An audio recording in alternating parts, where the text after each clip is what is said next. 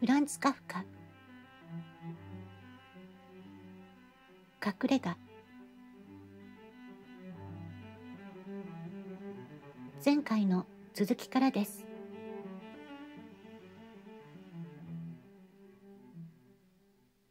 あれは一体何事です？とカールは尋ねて息も告げないほどにうろたえながら彼の監視人たちの方を顧みた。チビがすっかり取りのぼせているわ。とブルネルダがドラマルシャに言ってカールの顎をつかみ彼の頭を自分の方へ引き寄せようとした。ところがカールがそうはさせまいと思ってちょうど路上の出来事ですっかり気が立っていた時でもあり激しく体を振りほどいたのでブルネルダは彼を手放したばかりか後ろへたじたじと引き下がってすっかり彼を自由の身にしてしまった。もうたっぷり見たはずよ。と彼女は明らかにカールの態度に腹を立てて言った。部屋行って床を述べ、いつでも寝られるように手落ちなく用意をするの。彼女は部屋の方へ向けて片手を伸ばした。それは確かにカールがもう数時間も前から狙いをつけていた方向であった。彼は一言も口答えしなかった。するとその時、路上からガラスのみじんに砕け散る声が聞こえた。カールは自制しきれなくなって、今一度、ほんのちらとでも見下ろすために、素早く手すりに飛びついた。反対者たちの計画が、それこそおそらく一か八かの計画だったのだろうが、見事に成功して、それまで強烈な光で少なくとも今夜の主要な経過を全世界の前に公開するとともにまたそれによって全ての人々にもある程度の節度を守らせてきたあの党員たちのヘッドライトが一つ残らず同時に紛糾されてしまったのである。もはや候補者とその担ぎ手を取り巻くのは辺り一面の頼りない照明に過ぎずその明かりが急に広がるとかえって真っ暗がりの中にいるような感じしか与えなかった。こうなっては候補者たちがどこにいるかもはや仮にも言うことができなかったろう。人を欺く闇のの力は檻から始まった下手の端の方から近づいてくる幅広い統一した歌声によって嫌が上にも強まるばかりであった。さあ、言いつけた仕事があるはずよ。と、ブルネルタが言った。さっさとなさい。私疲れてるのよ。彼女がそう言い添えて、両腕を高く伸ばすと、彼女の胸が普段よりもはるかに大きく盛り上がった。彼女を片時も離さずに抱き続けていたドラマルシェが、彼女をバルコニーの隅へ引っ張っていった。するとロビンソンがいまだにそこへほったらかしにしていた食べ物の残りを脇へ片付けるために二人の後を追った。この好機をうまく利用せねばならぬ。今は路上を見下ろしている時ではない。路上の出来事は下へ降りてもたっぷり見られるし、それどころかここの上からよりもよく見えるはずだ。そう考えてカールは二段跳びで薄赤い明かりの灯った部屋を急ぎよぎったがドアには鍵がかかりその鍵は抜き取ってあった。まず鍵がなければならぬ。だがこの乱雑の中で果たして誰が鍵を見つけ出せよう。しかも自分が自由に使える貴重な時間はごくわずかしかないのだ。本来ならもう今頃は階段に出て一目散に走り降りているはずなのに。こうなってはママよと鍵を探そうと彼は心に決めた。そして手当たり次第に引き出しの中を残らず探し回りさまざまな食器やナプキンや始めたばかりの刺繍が散らばっているテーブルの上をかき回しもしかすると衣類の間に鍵があるかもしれぬと古い衣類がすっかり絡み合ったまま山と積まれている肘掛け椅子にも心を惹かれたがそこでも鍵は見つからなかった。ついに彼は文字通り悪臭を放っているネースの上にまでも飛び乗って隅々やひだの中にまでも手を入れて鍵を探ったがダメであった。彼は探すのをやめて部屋の真ん中で立ち止まった。きっと鍵はブルネルダが自分のベルトにくくりつけているに違いない。あそこにはいろいろなものが吊り下がっていようものだから。いくら探しても無駄だと。彼は心に言い聞かせた。そうなるとカールはもうめくらめっぽうにナイフを2本つかみ取ると。それを扉の間へ。2箇所の互いに離れた作用点を作るために。一方は上の方へ。一方は下の方へと突っ込んだ。彼がナイフを横に引くと無論ナイフの刃が2つに折れた。彼の意図は他でもない。ナイフのたもとに残った部分ならばさらにしっかりと差し込むことができるしそれだけに耐久力があると思ったからだった。そこで彼は両腕を大きく広げ両足を大股に開いて突っ張りうめくほどに渾身の力を込めてドアに細かく注意しながら引いた。この分では銅の方が長く持ちこたえられまい。カールははっきりと耳に聞こえるほどに缶抜きが緩んだことから、それと察して喜んだ。ゆっくりやればやるほど、ことは正確に運ぶのだ。錠前が音を立てて弾けでもしたら大変だ。そうなるときっとバルコニーの連中が聞き耳を立てるに違いない。錠前はむしろ極めて徐々に外れてゆくようにせねばならぬ。そう考えてカールはこの上なく慎重に目をますます錠前に近づけながら作業を続けた。あれを見ろ。とその時ドラマルシェの声がした。三人とも部屋の中に立っていた。カーテンは彼らの後ろですでに閉めてあった。カールは彼らの入ってくるのをうっかり聞き逃したのに違いない。ナイフを見て彼の手もおのずから力なく垂れていった。だが何か説明か弁解の言葉を言っている暇など彼にはなかった。ドラマルシュがこれを機に溜まっていた感触玉を一気に爆発させたらしくカールをめがけて彼のほどけたガウンの紐が空中で大きな図形を描いたほどに飛びかかってきたからである。カールはどうにか間一髪でその攻撃をかわした。彼はドアからナイフを引き抜いて防衛に利用できたはずであるが、そうはしなかった。反対に彼は身をかがめては飛び上がりながらドラマルシュのガウンの幅広い襟をつかんで、その襟を差し上げ、さらに引っ張り上げしていたので、ガンは確かにドラマルシュにとってあまりにも大きすぎた。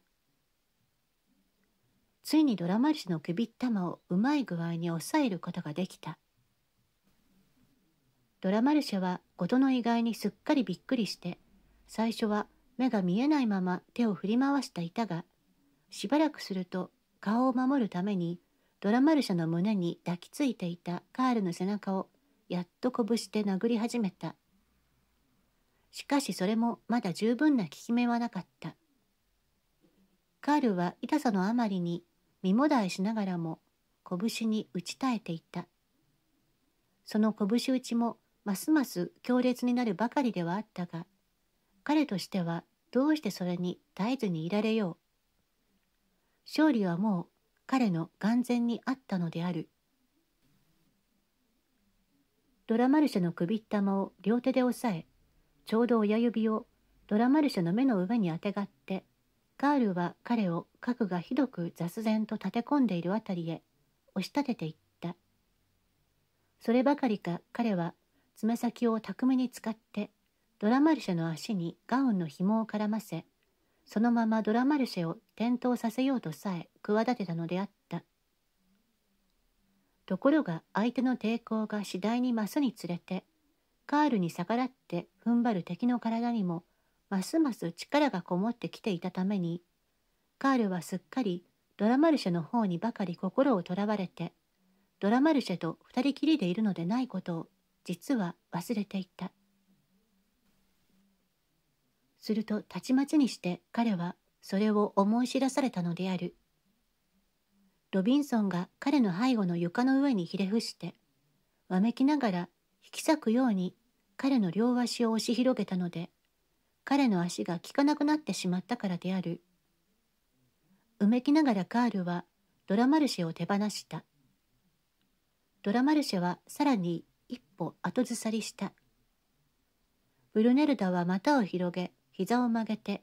部屋の中央に体いっぱいに立ち、目を輝かしながら事件の成り行きを見守っていた。彼女自身までも実際にこの格闘に参加しているかのように、彼女は深く息を吸い、目で狙いを定めながら、ゆっくりと拳を突き出していった。ドラマルシャは襟を下ろして、再び目の自由を取り戻していった。こうなっては無論もう格闘になりようがなかった。あるのはただ処罰のみであった。ドラマルシェがいきなりカールの胸ぐらをつかんだかと思うと、カールの足が床から浮かんばかりに高く持ち上げ、軽蔑のあまりにカールからすっかり顔を背けたまま、二三歩離れた戸棚へ打ち向かって、力任せに投げつけたので、カールは箱に打ち当たった時に被った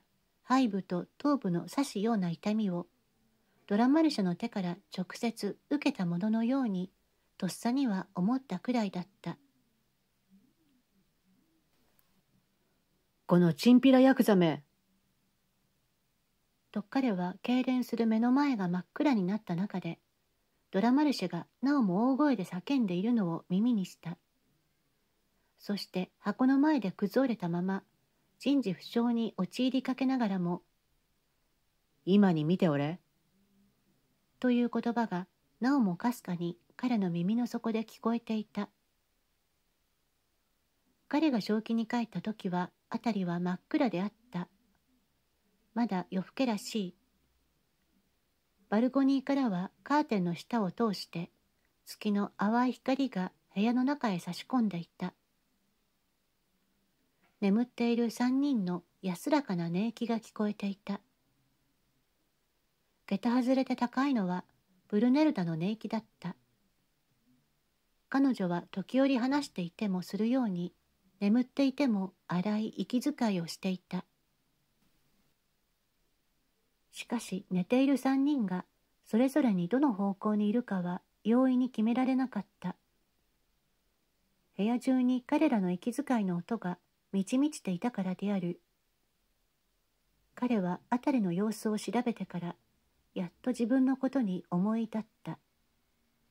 そして、ひどく驚いた。痛みのために体がすっかりよじれて、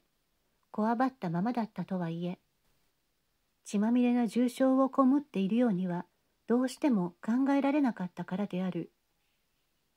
ところが頭にはやはり何かずっしりと重いものがのしかかっているようであった。顔も喉もワイシャツの下の胸もまるで血にまみれたように濡れていた。自分の容体を詳しく確かめるためにまず明るいところへ行かねばならぬ。もしかするとフグにされているかもしれない。それならドラマルシェとてもきっと喜んで自分を放免してくれるだろう。しかしそうなると自分は何ができよう。そうなると確かにもうお先真っ暗であった。彼はあの問答に行った鼻をかじられた若者のことを思い出した。彼はしばらくは両手に顔をうずめていた。それから彼は何とはなしに戸口の方へ向いて四つん這いになりながら手探りで歩いていった。間もなく彼の指の先に長靴が触れ、さらに足が触れた。それはロビンソンに違いなかった。他に長靴を履いたまま眠る者はいないはずである。きっとカールの逃走を阻止するために、戸口の前に斜めに身を横たえるよう命令されたに違いない。それにしてもカールの容態を誰も知らなかったのだろうか。彼は差し当たっては何も逃走するつもりなどなかった。ただ明るいところへ出たいだけであった。それゆえ戸口から外へ出られないとするとバルコニーへ出るよりほかなかった。食卓は晩に見たのと明らかに全く違った場所に置いてあった。ネイスはカールが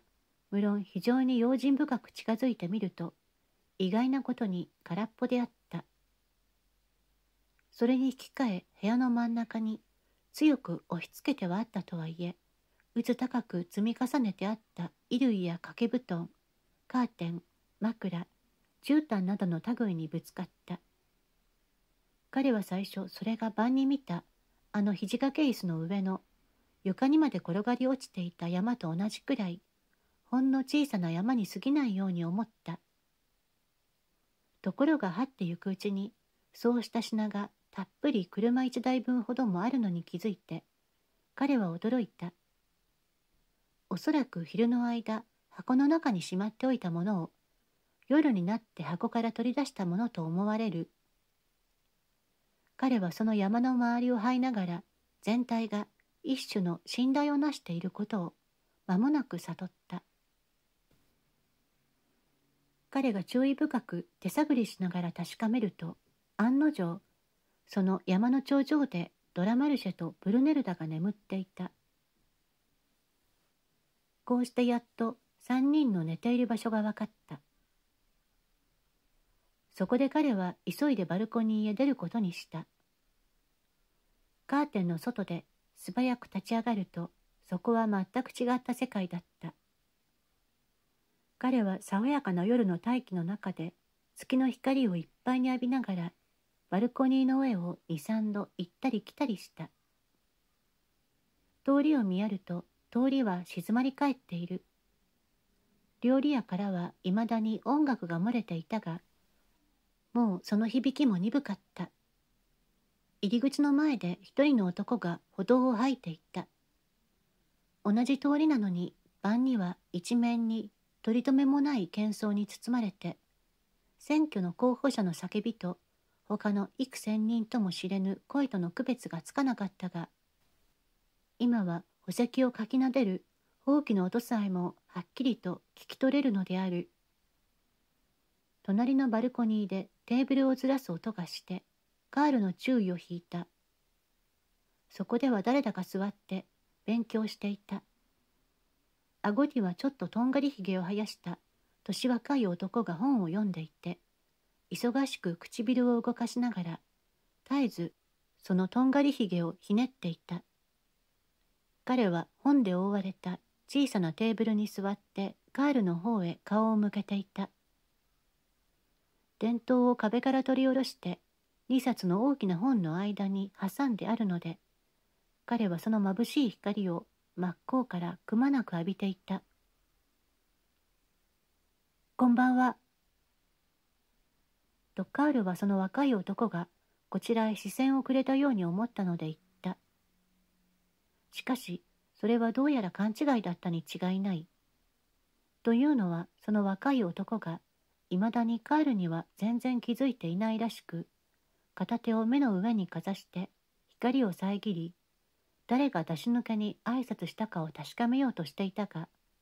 それでもやはり何も見えなかったのだろう。今度は電灯を高く持ち上げてそれで隣のバルコニーをも多少なりと照らそうとしていたからであるこんばんはとようやく彼の方も言って一瞬鋭くこちらを見据えてから言い添えた「それで何か用事でも?」「お邪魔でしょうね」とカールは尋ねた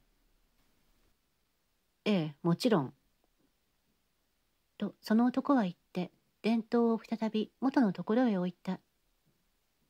その言葉で無論取り尽くし間もすっかりなくなったわけであるが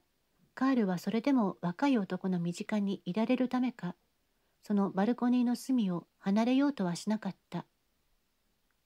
彼は黙ってその男が本を読み、ページをめくり、時折いつも電光石火の素早さで他の本を手に取っては何やら参照して幾度となくその都度顔をノートへ驚くほど深く下げながらノートへメモしている様を眺めていた。もしかすると学生なのだろうか。どう見ても勉強しているようにしか見えない。考えてみれば自分が郷里の家で今となってはもう遠い昔のことだが両親のテーブルに向かい宿題を書いていたのと大して変わりはない。あの時父は新聞を読んだり帳簿へ記入をしてどこかの教会のための通信を片付けたりしていた。母は縫い物にかかりきって布地から高く針糸を引き抜いていった。自分は父親がうるさがらないように必要な本を自分の左右の肘掛け椅子の上にきちんと置いて